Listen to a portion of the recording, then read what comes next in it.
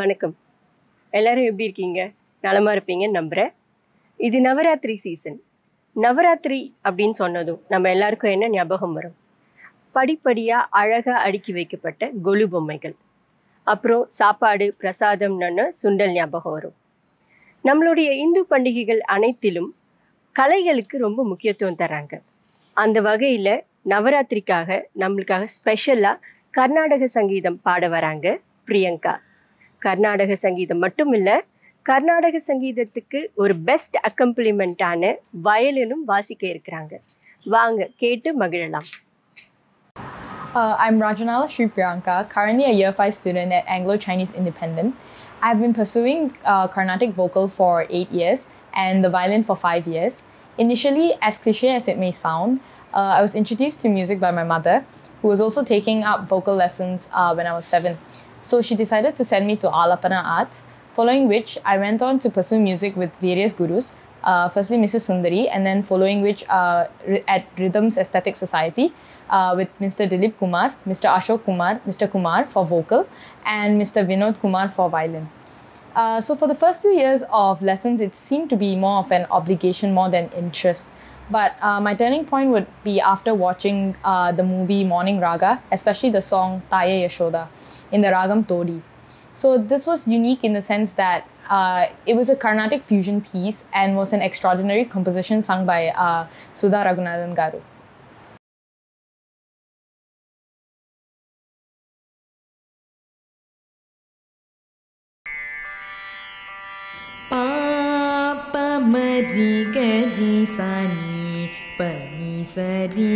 सा नि सरि गरि गि सरिमापनि पा पमरि पमी गी पनि सरि नि सा नि सरि गरि सरि गिसरिमापनि पमानि पनि मपदि गरि नि पनिमापदि गिनिसरि गी पनि सरि गरि सापनि पम निीप दी गी सदीगि सी पी सा गदि सदिमापनि सी पि गदि सा मदि पानि पापनि मापनि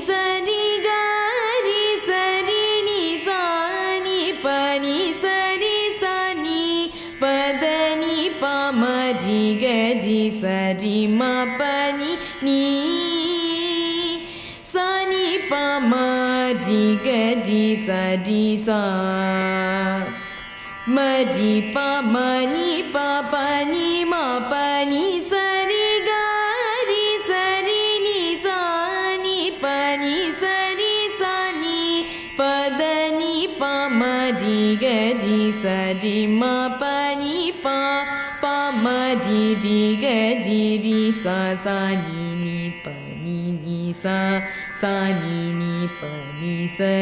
गि मानि पीपानि सा गि सनि पनि सि गी जनि परि गरिमापनिसा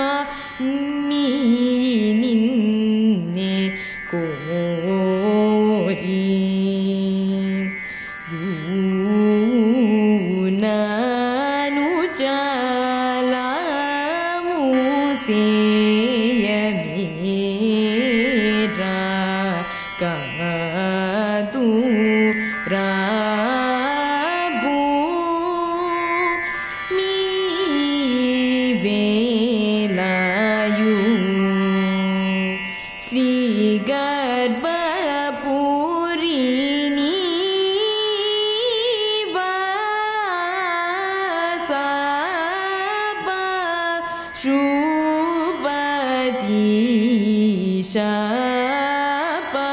पामी गिरिसािनि पनि सा सानि पनि सरि गि सरिमापनि पमानि पानि रिसा गरि सनि पनि सरि गरि सी परि गि सरि मा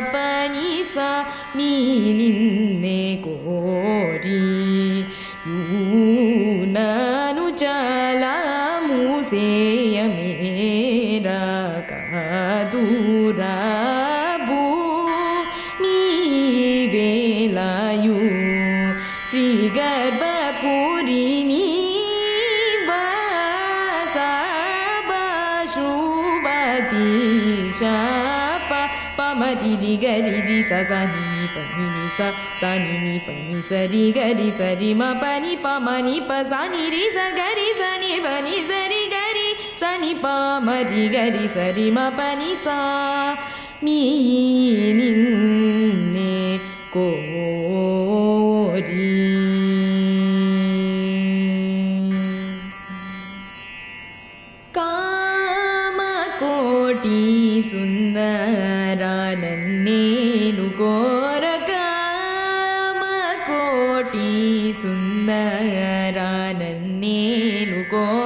सा रि नि प म रि ग रि सा सा रि म प नि का म कोटि सुन्दर नन्नेरु कोर नि सनि प म रि ग रि सनि சனி பம பனி சரி நி சரி ம பனி காம கோடி சுந்தரானன்னேனு கோரமா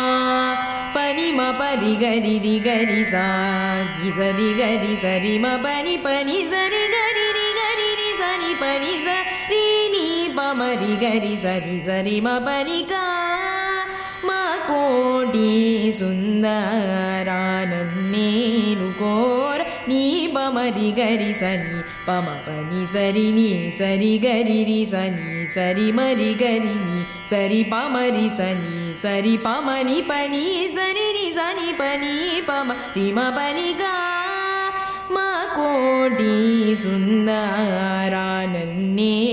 కోర సా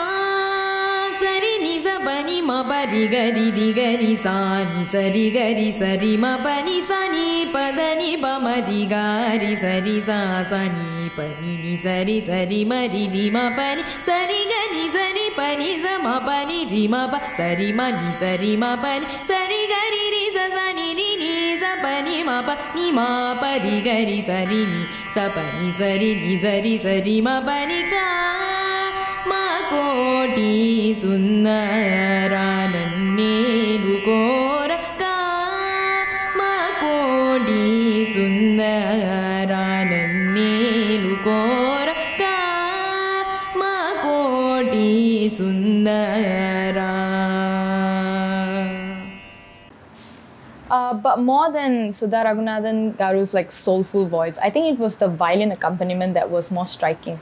Because it was amusing to see how the violin was able to encapsulate the soul of the song and how a vibrant composition was rendered solely using vocal cords and the violin. So this was when I first fell in love with the violin. So um, the violin is an avenue to express bhavam without words, but solely using uh, swaras as a basis. Uh, because in the sense that you whatever the singer sings, uh, you use it and creatively modify it to express the emotions behind a particular composition. So henceforth, uh, the violin is the most expressive accompaniment in a composition as it allows for the scope of expression and also a form of support to the singer.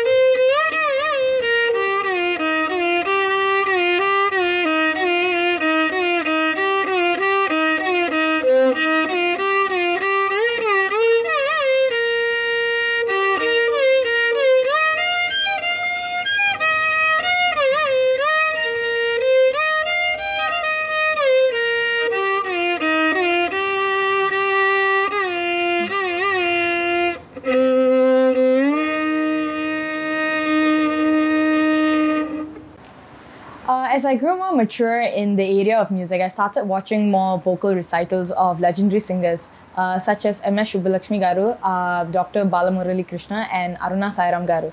So it was just spellbinding to see the violin and the singer performing somewhat known as a jiggle bandi, uh, where you know it's just using raga alapana within the scope of the raga. So to me, the voice of a person is the most beautiful instrument because it is the only instrument that can be molded to whatever s- form you need for a particular genre or a particular song. So an example of this would be Kamakam. So Carnatic vocal is indeed the most inspiring form of music uh, where you can express all uh, forms, nine forms of emotions which are navarasas within the scope of a ragam.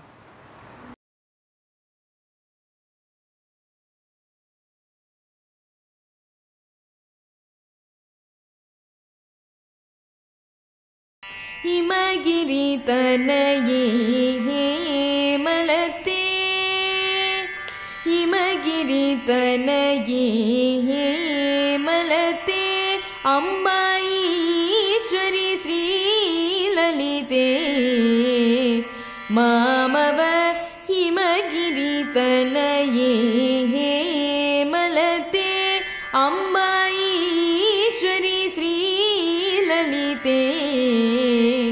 मामव हिमगिरितनये मलते।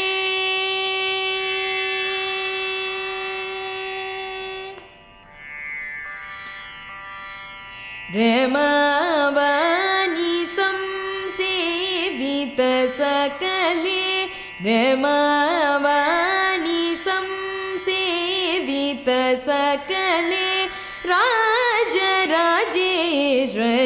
राम सहोदरि राजराजेश्वरि राम सहोदरि सा सा नि नि नि प प प म ग ग म ग म प नि म प ग म प नि सा सा सा नि नि नि प प प म ग ग म ग म प नि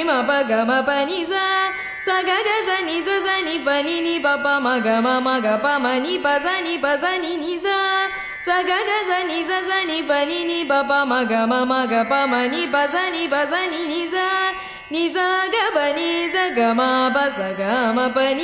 स नि स स नि प नि नि प प म ग म म ग प म नि प स नि प स नि नि सा नि सा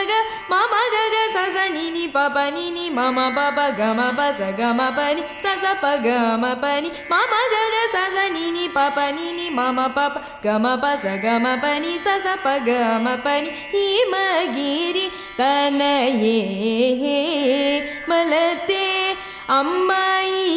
स ग णिते मामव हिमगिरितनये हि मलते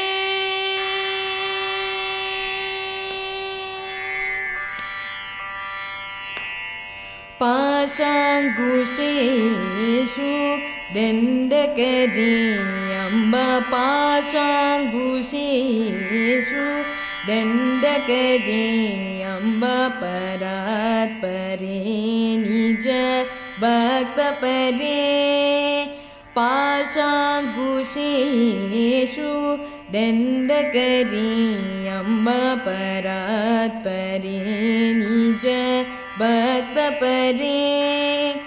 आशाम्बर हरि केशविलासे आशाम्बर हरि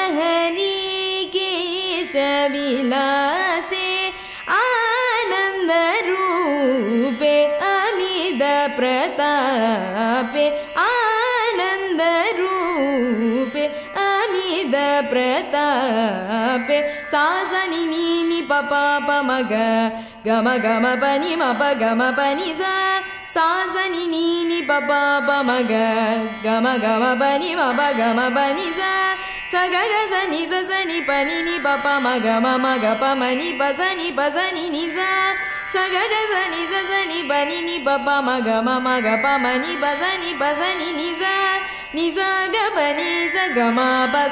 म नि प स नि प स नि नि सा स ग ग स नि स स नि प नि नि प प म ग म म ग प म नि प स नि प स नि नि सा नि सा ग प नि स ग म प स ग म प नि प सा नि ग स नि प नि स ग नि सा ग प नि स ग ga ma ba sa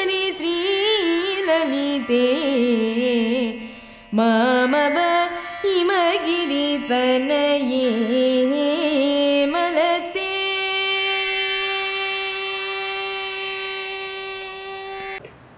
Uh, music is essentially an important part of everyone's life, uh, regardless of whether you have a background in music or not. Uh, for me, it is an avenue to express my feelings or relate to songs that reflect what I am feeling at that point in time. So, if I had a good day, then maybe some motivational songs will help me continue keep my spirits high.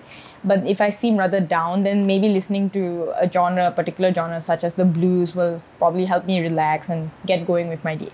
So my main aspiration would be able to play the accompaniment for the ve- very song that led me uh, to be interested in the violin, which is Taya Yashoda. Uh, apart from that, I think it is it is also a dream of mine to play a, in a Carnatic fusion band. So for me, my um, inspiration and my idol band would be Agam uh, as an accompaniment for any of their compositions. Uh, and of course, the most important goal would be able to play and sing the violin uh, today better than yesterday. And that comes with practice, of course. So I'm definitely fortunate to be given the opportunity to pick up violin not only as a hobby, but also to use it as a platform to express myself and enjoy the true bliss of Carnatic music.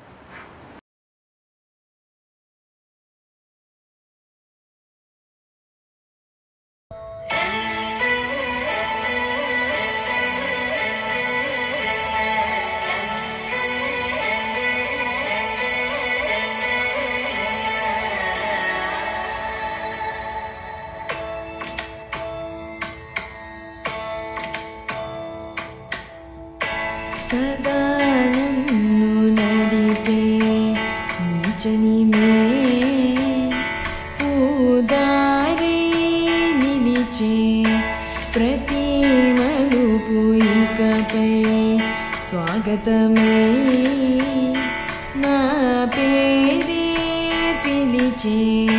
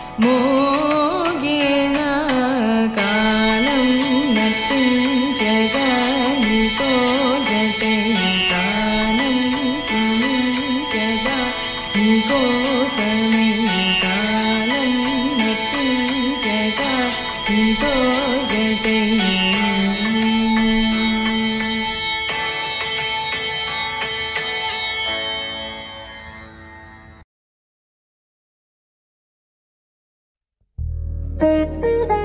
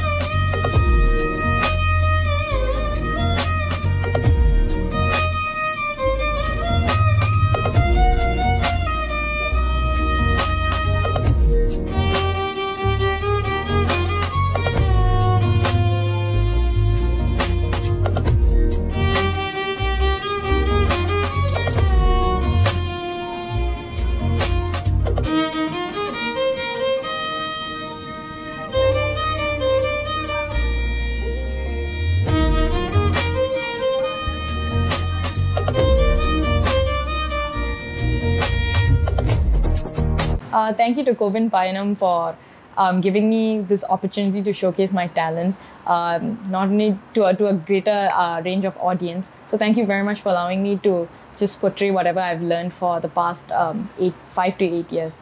Thank you very much. Priyanka பாடினதையும் அவங்க வாசித்ததையும் கேட்டு நீங்கள் ரசிச்சிருப்பீங்கன்னு நினைக்கிறேன் நவராத்திரி வர்றதுக்கு முக்கிய காரணமாக இருக்கக்கூடிய துர்கை தேவி எப்படி மகிஷாசுரனை வதம் செஞ்சாங்களோ அதே மாதிரி நாம் எல்லோரும் நம்ம மனசில் இருக்கக்கூடிய நெகட்டிவ் தாட்ஸ் எமோஷன்ஸ் இது எல்லாத்தையும் அழித்து ஒரு புதிய பர்சனாக ஒரு பாசிட்டிவான மனிதனாக நம்ம உருவெடுக்கணும். அந்த மாதிரி ஒரு நல்ல நோட்டோட இன்றைக்கி இந்த எபிசோடை இங்கே முடிக்கிறோம். நன்றி வணக்கம்.